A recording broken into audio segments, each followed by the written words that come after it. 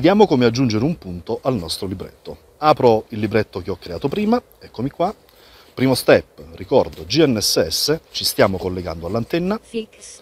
Collegamento avvenuto, ci dà il fix, ci dà il tempo che eh, intercorre nel ricevere le informazioni direttamente dal, dal sistema al quale siamo collegati, ci dice che abbiamo 22 satelliti a disposizione. Questo righello ci permette di, scusate, il righello ci permette di impostare quella che è l'altezza dell'antenna.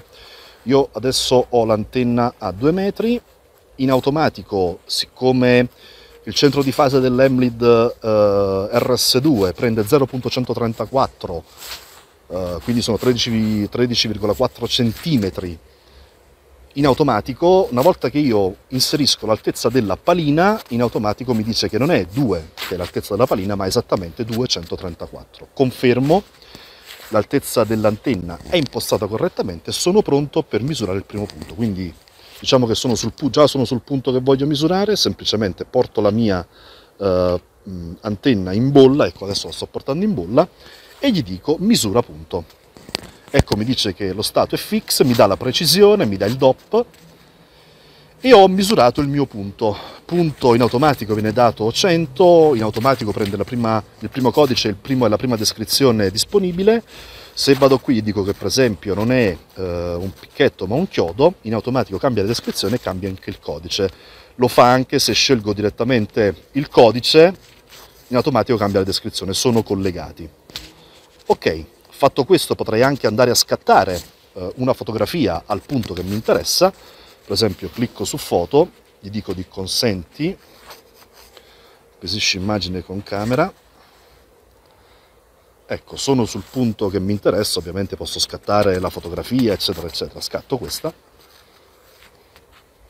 ok, e la foto viene inserita. Posso averne più di una, vedrò le anteprime o addirittura fare un video. Confermo il punto 100 inserito. Ovviamente se adesso io mi spostassi con l'antenna,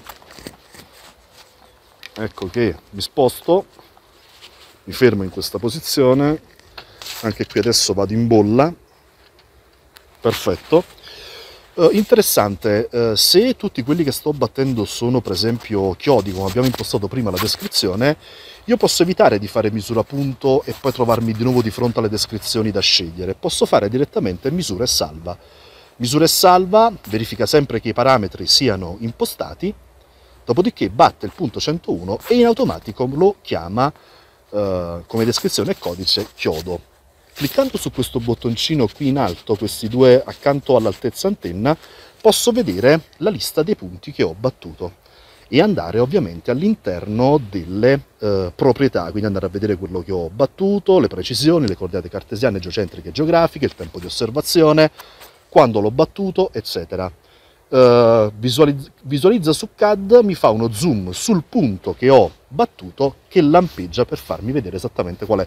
Molto utile per esempio quando ho una serie di punti e voglio andare a vedere, voglio andare a recuperare quello che più mi interessa.